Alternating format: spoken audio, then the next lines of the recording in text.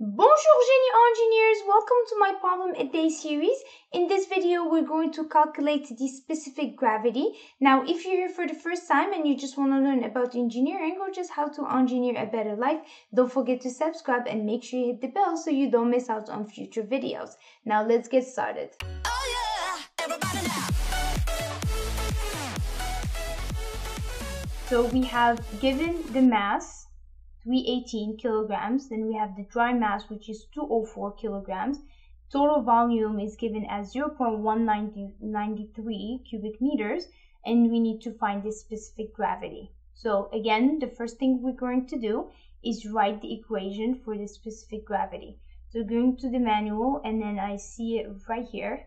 So I have the weight of the solid divided by the weight did I get that right? Yes. Divided by the volume of the solid times the unit weight of the water. So here, this is a little bit tricky because the weight of the solid, we don't, it wasn't given to us.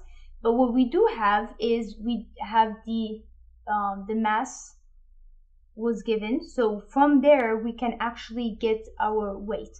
So let's do that. So I have, so you guys uh, as you know this is a uh, we covered it earlier so we said the unit mass is equal to the mass times g right? So we're going to do 204 times 9.81 this is kilograms this is meters per second squared so your answer should be newtons and that will give you an answer of 2001.24 newtons Okay, so now we have this.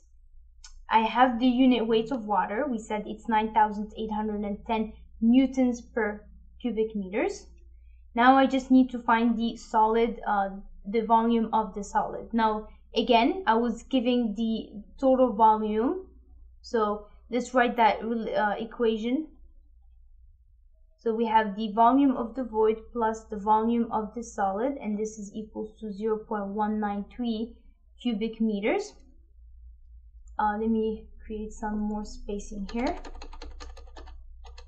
Okay, so once we determine, we write that equation, now what we need to do is we need to find the volume of the void so that we can calculate the solid of the volume or the volume of the solid. Okay, so what we can do here is actually, so if you guys remember this equation, so if we take the density equation, which equals to the mass over volume, then we can rearrange it. So we have volume is equal to mass over density, correct? Now this v void volume we can have, and this is can it can be our void mass. And as we said, void mass is just really uh, the mass of the water because it's just the water, the air. We usually neglect it and then here I have the density of the water. So if we can just find the mass of the water, we can actually determine the void uh, volume and then from there we can calculate our uh, volume of the solid. Okay, so the mass of the water, so we were giving the total mass, which is 318, and then we were giving the dry mass, which is 204. So if you take uh, the subtraction of those two, that should give you the mass of just the water itself. So let me write it down here. So I have 318 minus 204 and this is kilograms and I divide that by the density of water which is 1000 uh, kilograms per meter cubic meters because volume uh mass divided by volume. Okay so in here so the answer you should get is 0.114 cubic meters. See kilograms here cancel so you're left with cubic meters. So that's your answer for the void volume. Once you find that answer then you can just come back to this equation and just plug in the V volume. So let's rearrange this equation first. So we have the solid of the volume is equal to 0.193, which is the total volume, minus, because we bring this to the other side, the volume of the void, which is point one. Sorry, hold on. Let me write that down. But one one four cubic meters. There we go. And this is point. And this should give you an answer minus.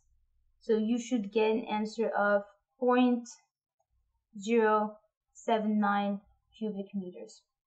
Okay, so once you find this, now we can just go back to our first equation and just plug in all the, the variables that we just determined. So I have 2001.24 newtons and then we're going to divide that by the uh, 0.079 meters cubed times my uh, unit water which we said the unit weight of water is 9810 newtons per meter cubic meters. Notice here I used the 9810 and not 9.81 because here I have newtons so I want to keep my units consistent. Okay, so once you, um, then we can just cancel this with this. Then you get meters cubed uh, on the on the top. Then that cancels with this, and then eventually you get a dimensionless, um, unitless uh, answer, which is good because that's what specific gravity is. Okay, so once you, if you plug in that in your calculator, you should get an answer of 2.6. That should be your answer.